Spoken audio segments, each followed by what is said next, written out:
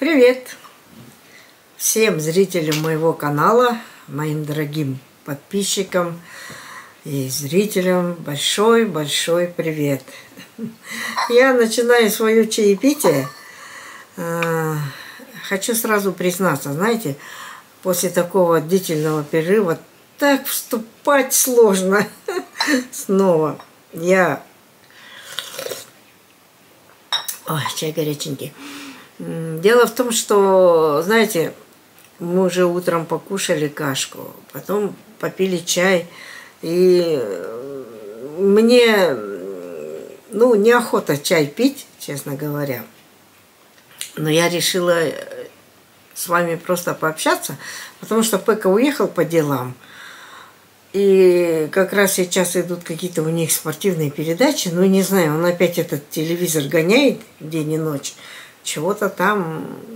В общем, я даже не смотрю, что там идет. Поэтому, думаю, надо воспользоваться, пока его нету. Сейчас где-то около трех часов, ну, немножко нет, э, без 15 Вот, а когда он придет, я приготовила уже, мясо у меня тут на готове, растаяло, я быстро приготовлю, рис у меня есть. В общем, а потом вот э, у нас только дел, может быть, с ним опять уже, вот знаете, вот, вот это надо порядок наводить, и дождь идет, мешает. И он уже этих дров третью или четвертую привозит и э, прицеп. А прицеп-то большой, три с половиной метра. И вот это нас постоянно отвлекает. Если он привозит прицеп, нам надо его перетаскать весь этот, э, в, этот в, дров, в дровник, чтобы снова ехать, освобождать его, знаете, вот все вот так вот. Мешает, тормозит, поэтому до сих пор порядок не...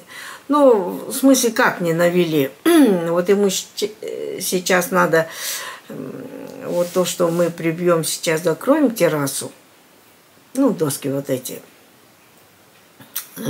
отобрать. Потому что все же снимали, когда это самое. Ах, доски это, потом все, что не надо, старый шифер, там это, все вот эти материалы все увезти на свалку. Вот. И те доски, которые останутся, и, конечно, возить не будем, а будем тоже на дрова пилить, как говорится. Вот. И все, вот эти попутно дрова приходят. И потом еще дождь. Сегодня лил такой дождь. Вот появился, появилась окошко. А, пока поехал там с интернетом, у него проблемы какие-то, он поехал в, это, в нашу эту. Поэтому я решила, пока телевизор молчит, пока его нету, я лучше посижу, а потом просто некогда будет. Он приедет, если также дождя не будет, мы выйдем на улицу и начнем это самое, покушаем и начнем вот свою это, не знаю что. Или э, прицеп будем затаскивать, или, в общем, работы хватает.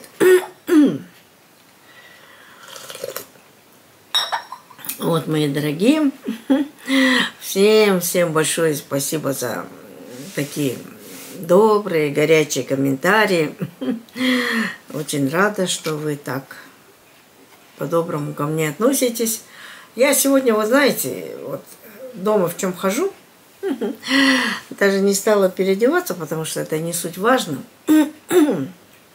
Тем более это дома у нас прохладно уже. Сколько там градусов, я не вижу. А, 19. 19 и с чем-то там, непонятно. В общем, дома прохладно. Приходится немножко теплее надеваться.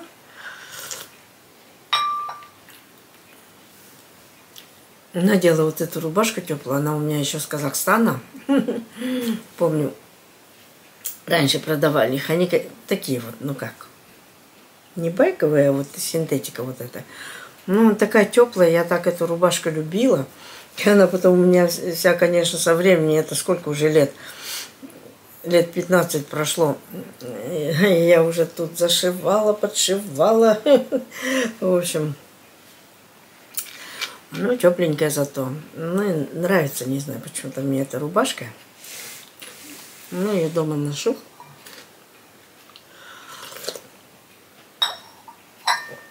Ой. Термосок уберу, мешается под рукой. В общем, крышу делали, конечно. Вот я так рада, вот стропилы сделали. Вот они даже вот здесь на террасе выходят. Самые-самые крепкие стропилы брали. Ну, э, как мне эти говорили строители, это самые крепкие пятнашка. 15 сантиметров они по ребру. И 5 толщиной и 15 вот высоту. И вот они ребром вот так же встают. Так что теперь любой снег выдержат. И самое главное, нету вот этих вот соединений. И все вот сплошным идет. И весь снег будет ну, скатываться или там на крыше. Но в любом случае там все сделано надежно. Здесь подпорки вот под это, где кончается вот дом, и дальше идет стропила на террасу. Здесь такие мощные подпорки поставили, все. Очень хорошо э, все сделано, надежно. Вот. Но, конечно, трудов стоило. Вот эти вот покупали, когда всякие доски, даже вот это вот отделывали высоту. Ну, красить, наверное, уже там же высота добавилась как бы. И вот это вот, и, э, вот эти доски, ну, которые друг друга вот так заходят, как они называются. Вот, мы это самое, с обратной стороны, с этой стороны они как бы не крашеные, а с обратной стороны мы обработали все. А это уже под покраску. Ну, наверное, уже, наверное, в следующем году будем красить. Ах, потому что уже дело к холоду и немножко, ну, уже подустали, что там говорить. Вот. Сейчас главное, ну, там видно будет, если, например, будет сентябрь, октябрь сухой, может и покрасим, посмотрим. Ну, дело в том, что вот эти крылья красить, ну и надо или в тон подбирать, или вообще друг, другим цветом покрасить. В общем, можно вот эту вот переднюю часть дома и вот с этими боковыми стенами а, от террасы, ну и вот эту пристройку, вот в, какой бы цвет покрасить. Ну, вот так вот, вы знаете же, у меня здесь синяя, пристройка голубая.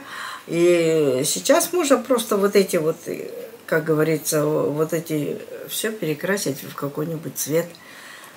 Короче, давайте, кто у нас там в этом деле понимает или у кого есть вкус, вот э, буду опираться, конечно, анализировать ваши, ваши это, как сказать, ваши э, комментарии, ваше мнение – и вот я все думаю, в какой бы этот цвет все покрасить.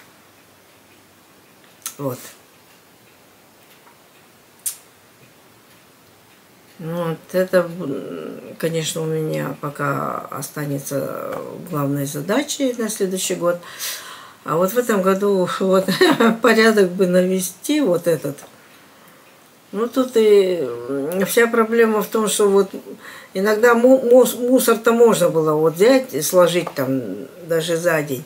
Но дело в том, что вот мусор э, сложим в этот э, в прицеп, его надо увезти, как говорится. Сразу он не увезет, это надо... Э, там у них тоже по расписанию как-то вот какие-то дни работает свалка, какие-то нет.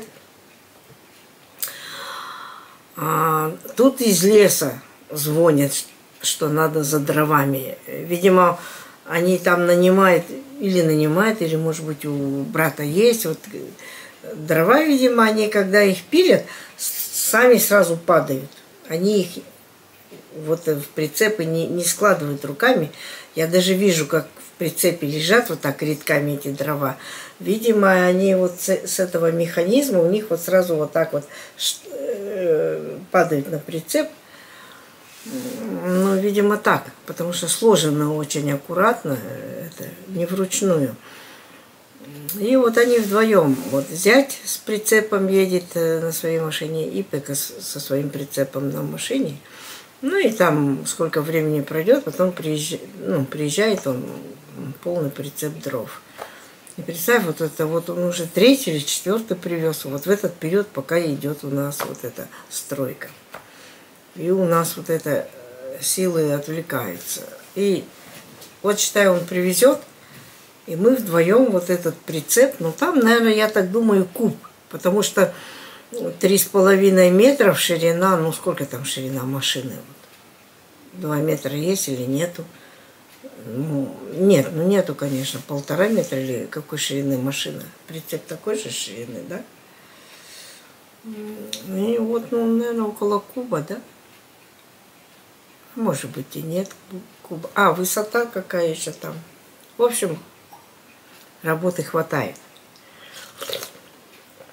У меня так вот, я все жду, чтобы вот эти заделать террасы, ну, как вот этими досками, ну, закрыть сколько можно. Та-то терраса белая, хорошо, она закрытая. Мы не убирали, потому что там вышло это. А здесь-то пришлось убирать, потому что терраса была до конца, и мы просто старые убирали и новое делали. Вот. Вот поэтому у меня такая загвоздка. Вот, девочки, ну устала я. Кормить пришлось. Готовить пришлось три раза в день. Утром, в обед и вечером стабильно. И вот прямо так крепко кормить, потому что работали. Надо было не так, не как мы с ним кушаем. Ну, маломальски. А их надо было, молодые, кормить надо было вот и до, ну, как бы вот такую еду, чтобы они прям наелись, чтобы яйца были, мясо было. И вот. Но очень они меня научили готовить киргизский плов. Ой, это такая вещь. Я всегда считала, что узбекский плов, плов самый вкусный, да? Ну, когда в Алматы я жила, мы у Ины бывали, ну, через день до каждый день, и там у нее, у мужа часто работали узбеки. Ну, я их даже знаю, как бы, ну, давно их не видела, естественно, уже, но если даже вот так увидела, узнала э, этих ребят. Вот, они готовили нам несколько раз узбекский плов. Ну, конечно, очень вкусный. А здесь я вот эти ребята мне подсказали, ну, просто они сами готовили, и я смотрела, и они мне говорили технологию. В общем, киргизский плов. Ой, ребята, какой вкусный. Как мне он понравился, он не хуже узбекского. И самое главное, нет вот этой кучи разных ингредиентов. И они использовали вот этот тоненький длинный рис. Я же сама вот этот рис вообще терпеть не могла. Я в Казахстане один раз его купила, помню, как это давно уже, я не... и потом кашу сварила, мне показалось, что это так воняет. В общем, я потом этот рис выбросила и вообще в жизни его никогда не покупала. А вот они плов готовили именно из этого риса. И вот я попробовала, когда они изготовили. Это было так вкусно, обалденно вкусно. Ну и потом после их отъезда я тоже один раз делала. Я, кстати, этот плов приготовила и сделала мукбанк. Мукбанк вам сделала. Но представляете, вот какая-то фишка в интернете. Не в интернете, вот когда вот этот э, ролик э, переносишь э, в этот с камеры переносишь на компьютер, вот он, я не знаю, ну я так поняла, что ролик где-то на полчаса, да? Я перенесла его на компьютер, смотрю, мне показывает, что час с лишним. Я не поняла. Включаю ролик, да? Начало идет нормальное. Вот как я говорю, все идет нормально. Потом раз, в один миг останавливается начинает. И все. Вот так. Замедленно, замедленно, замедленно. Ну, представляете, он на час с лишним растянулся. И концовка опять нормальная. И, и, и даже вот под этим э, сама черточка идет внизу еще какая-то такая полоска, и прям стоят два ограничителя, вот так, где нормально, и раз черточка, потом весь ролик идет ненормально, опять черточка такая маленькая, и дальше продолжение. Вы представляете, я парилась, парилась. Я много роликов снимала, ну, много снимала таких маленьких. Где мы, что мы где-то, или что-то покупаем, или что-то, да. И они все получились вот такие, с перерывом. Когда я этот мукбан сняла, я уже и так, и настройки все смотрела, думаю, думала, что-то дело думала в этом, в камере. Ничего не поняла. Так жалко было, пришлось мукбанк удалить. Не знаю, в чем дело. Потом звоню дочке. Ира, говорю, вот так, вот так. Почему так?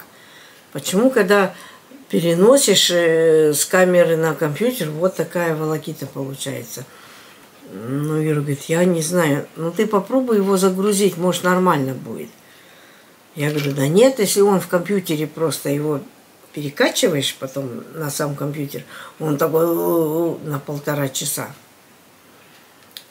Ну и потом я пришлось мне все равно это все удалить. Ну, как такое выставлять? А потом, представляете, взяла маленькие, сняла. Ну так, с Давиду. У меня же все уже эти я удалила, все, которые у меня были. Маленькие сняла минуты на три. И смотрю опять так же. Нормально, потом тяг... тягномотина, и потом опять нормально в конце. Думаю, дай-ка загрушу в YouTube. Ну, его уже можно загрузить и доступ не открывать и удалить. Загрузила в YouTube, представляете, а в YouTube он нормальный. Ой, блин, мне стало так жалко, что я тот ролик удалила. Я там такой плов вкусный кушала, как я его нахваливала вам, девочки.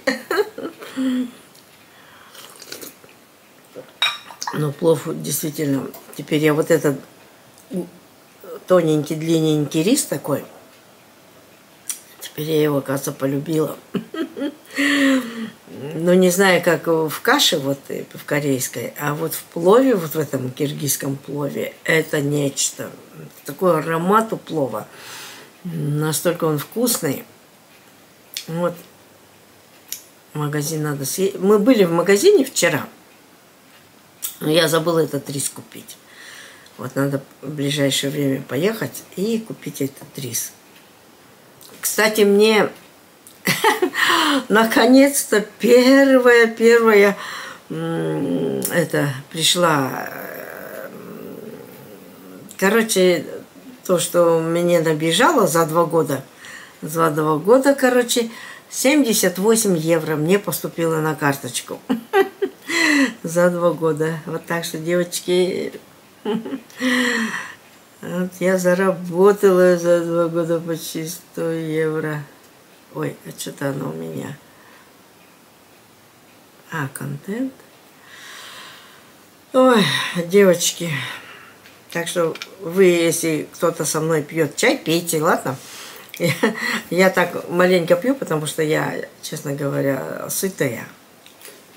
И чай, чаем, как говорится, напоенная.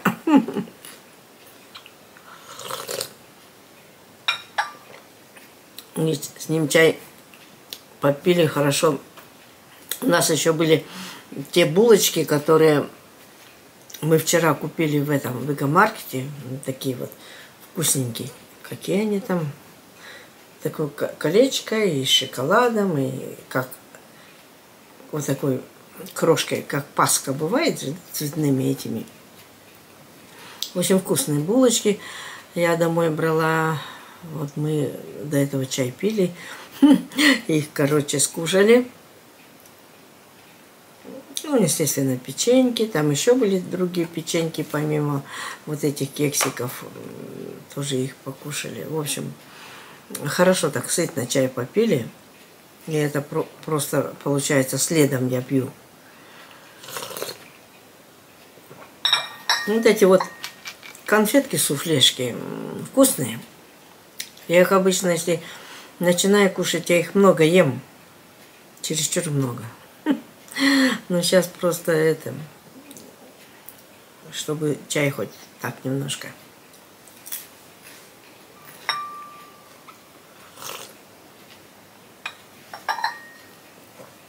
Девочки, всем большое спасибо за комментарии. Вот у меня один комментарий был. Вот интересный комментарий. Я некоторым пишу ответ, да? Ну, например, это самое. Ну, там, например, спасибо или что-то. А вот у некоторых не получается. Я пишу, а ну, какой-то мой ответ почему-то не показывается. Здесь один такой комментарий интересный написала.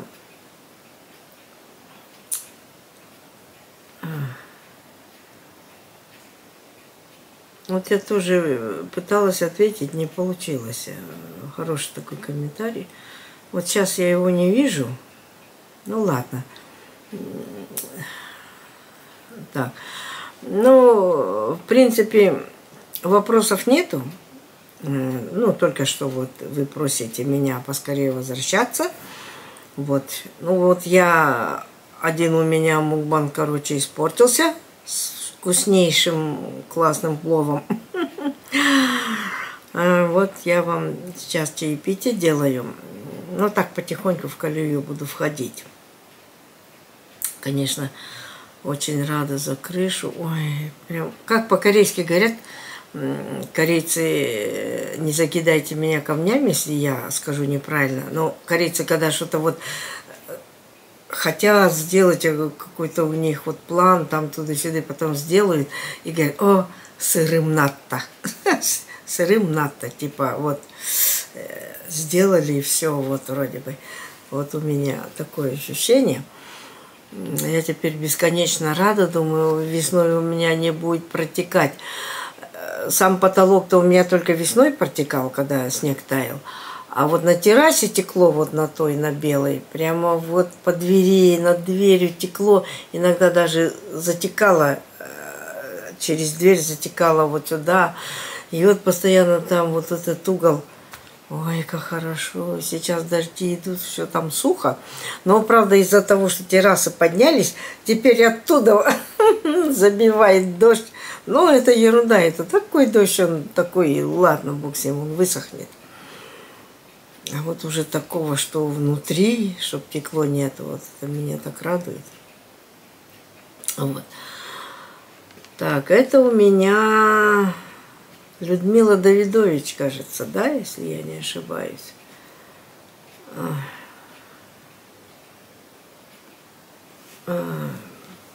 Я, вы знаете, могу ошибиться. Я лучше сейчас зайду а,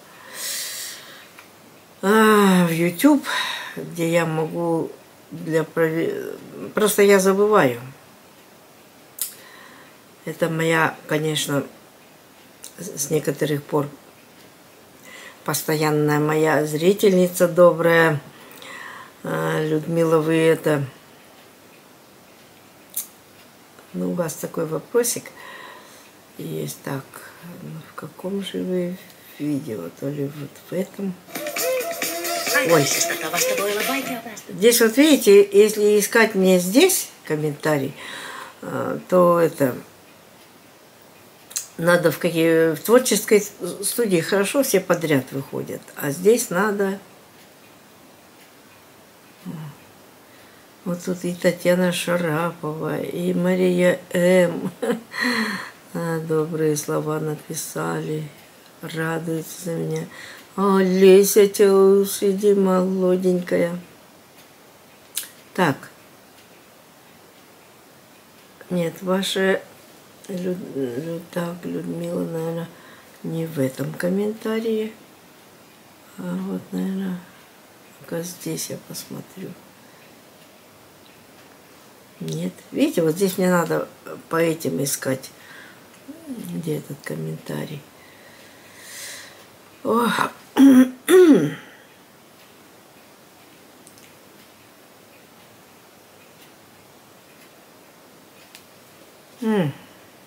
Нет, где-то вы вообще в другом месте. Ну ладно, не буду я искать больше. Опять зайду в творческую студию.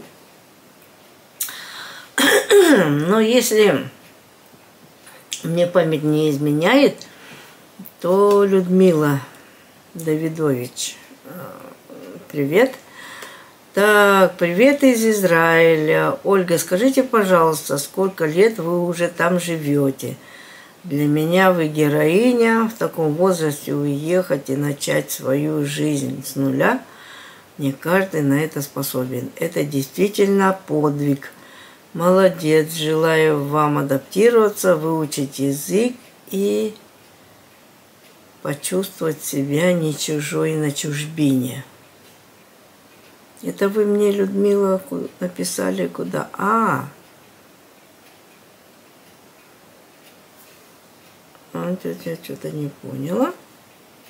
Это вы мне на какой-то старый комментарий, ой, на, на старый ролик написали. Ну-ка, я посмотрю, что-то, а, да, на прошлый ролик. Ну, конечно, я не нашла вас. Я последние три ролика открыла уже после того. Может быть, я вам даже отвечала, нет, вообще-то не отвечала. Я же уже давно, как говорится, это. Ну вот, в общем, Людмила, спасибо за комментарий. Я вот 9 лет. А, нет, 9. Девятый год здесь. А вот в мае было, как бы в мае было 8 лет, как я тут пошел девятый год. Вот, девятый год. Ну, можно сказать, девять, учитывая, что я до этого по два раза приезжала там на месяц и на месяц с лишним, почти на два месяца. В общем, это самое. Это.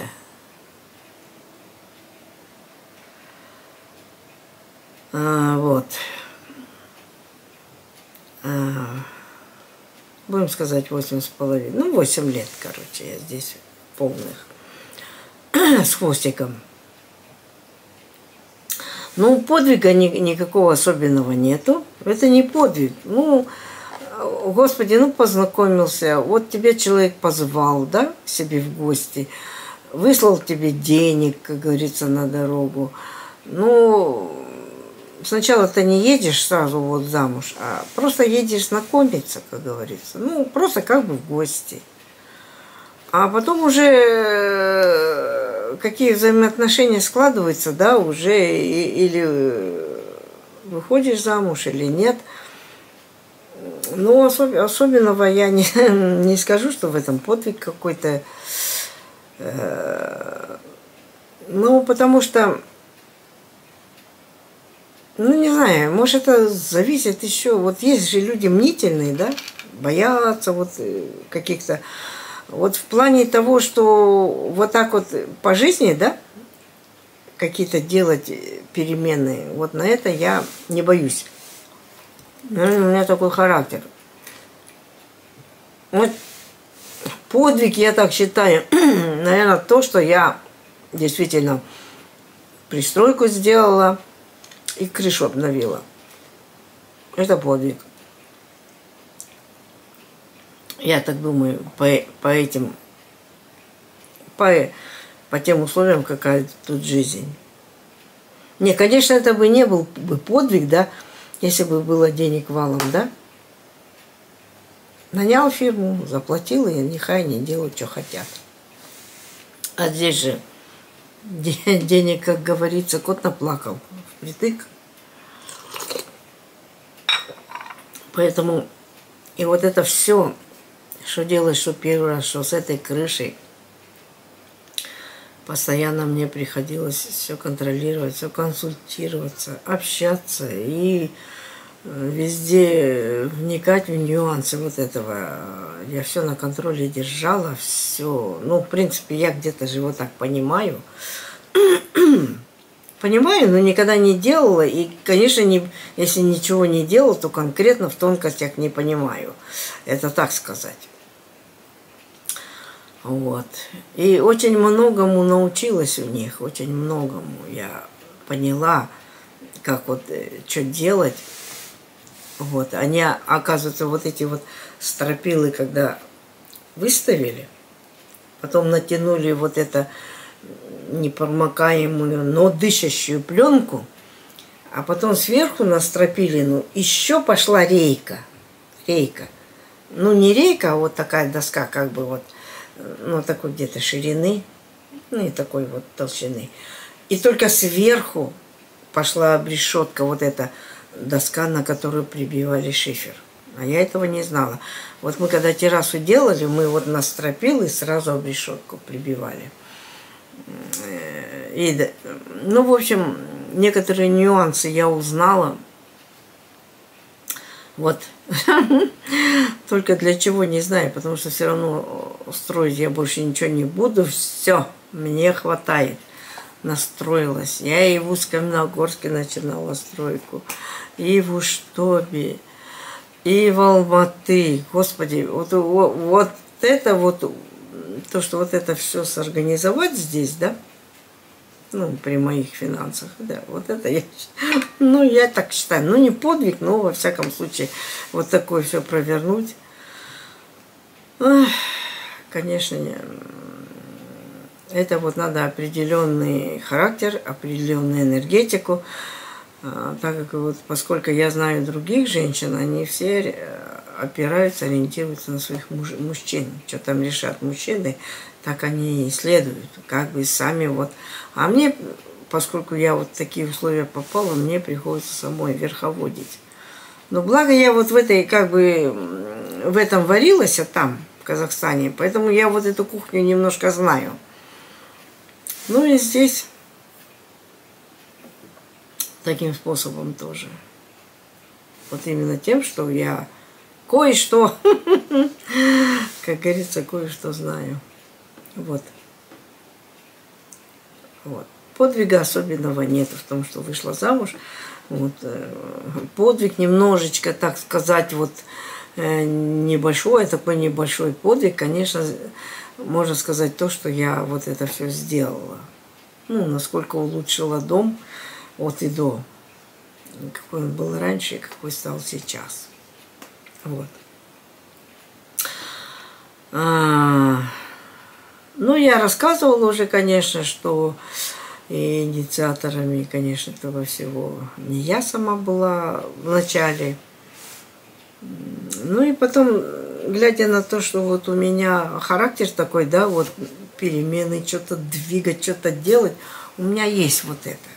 Понимаете, я же говорю, я сколько там в Уштобе сделала такую мощную пристройку и строила магазин. Табаке там вообще в Алматы там тоже такую строила махину. Не сравните, как здесь. Табаке строила, в Уштобе строила. В Астане только в Астане только мы восстанавливали. Ну, в общем, а, в Искамногорске. Мы там еще... А, девочки, этого батарейка закончилась. Заменила. Ну, в общем, ладно, не буду хвалиться, а то прямо пишите такие комментарии, а я начинаю перед вами хвалиться. Вот. А насчет того, что... Ну, пожелания, конечно, спасибо вам, Людмила, за пожелания. А, вот про язык. Изучать я уже как, ну, ну не стоит. Вот сколько я знаю, так хватает, а не чувствовать себя чужой. Ну, как бы вот не сказать, чтобы я себя чужой чувствую, понимаете? Дело даже не сколько чужой чувствую, а вот сколько вот чувствую, что вообще оказалось вот в какой-то такой вот, знаете, ой, такой одинокой, одинокой, одинокой жизни. Вот вы моя отдушина, мой канал, мои зрители. Вот. Ну и изредка ко мне подруга моя приходит, молодая. Эти старенькие подруги, они все. Короче, их не поднимешь.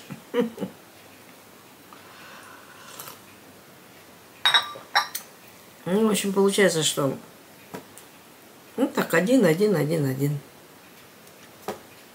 Даже смысла нет язык учить. Для чего?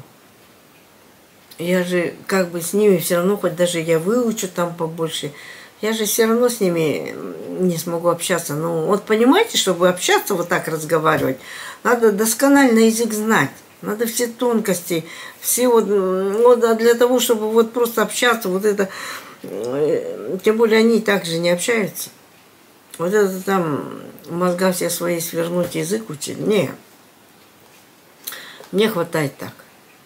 Я вот с вами общаюсь, и вот это мне хорошо. Но все равно, Людмила, спасибо, что вы этого желаете. Может быть, у вас получилось в Израиле это все одолеть вы ну, туда, ну, насколько я помню, вы вроде туда молодая уехали, да? Ну, это вот зависит все от возраста, в каком возрасте уехал. Я даже я, вот так я думаю, да, если бы даже в 40 лет уехала, да, я бы могла, конечно, получше говорить это, но вот так вот общаться, да, вот как вот мы привыкли у себя, в общем, досконально, вот духовно, вот так вот полностью общаться. О, это надо с детства сюда, наверное. И, и то, наверное, э, будешь вот так конкретно язык знать, вот это как свой родной. Э, тогда можешь общаться, там это. А вот так вот, э, как говорится, маломальски, с кем-то что-то. Ну, они к этому не располагают. Вот с их стороны нет такого позыва, поэтому я вот к этому не стремлюсь. Если бы, конечно, какая-нибудь вот э, нашлась такая у меня знакомая финка, да, из соседей там или это, кто бы вот хотел сам со мной вот прям подружиться, общаться, да, вот так разговаривать со мной. Может быть, я бы подтянулась, даже при том, что я знаю, да, э, какие-то были бы выходы, но нет такого человека. Они, я говорю, живут все как-то сами по себе, или, может быть, потому что я не знаю языка, они... Ну и, в принципе, нету такого места соприкосновения, где бы вот я могла с кем-то там близко подружиться, а, потому что у меня муж такой, вот у него нету таких вот прямо, у него знакомых много, когда мы куда-то с ним идем, он общается с разными там мужчинами, там, с друзьями, а вот так у него нет, вот как у нас, чтобы вот друг, там, семьями туда-сюда. Ну и поэтому вот, вот это пожелание несбыточно. Но спасибо, что вы его мне желаете, Людмила. Вот. Поэтому, дорогие мои девочки, мальчики, Всем-всем вам большое-большое спасибо, кто не убежал, не отписался, кто остался со мной, кто хочет со мной видеться. Я все равно, еще вот у меня работы много, но постараюсь войти в колею, будем встречаться, будем общаться, да? Всем, всем желаю без исключения здоровья, здоровья, еще раз здоровья. Дорогие мои, не пропадайте. Э, напишите, вот кто как думает, какой бы хотели цвет, чтобы я покрасила вот это. Ну, вы вот поняли, да? Если я покрашу пристройку, вот, ну, например, она голубая в другой цвет, крылья верхние же надо, где отделывали до высоты террасы. Вот это все надо будет красить. И вот дом, вот эти э, крылья тоже можно покрасить. Какой бы цвет было красиво. По вашему мнению. Вот. Ну, а я потом, ну, как бы поразмышляю тоже, почитаю, подумаю. Э, потому что красить это все равно надо будет. Не в этом году, так на следующее лето это, это работа у нас, как говорится. Предстоит нам эта работа. Так, всем желаю удачи. Всем, всем, всем будьте здоровы, будьте счастливы. И до скорых-скорых встреч. Пока!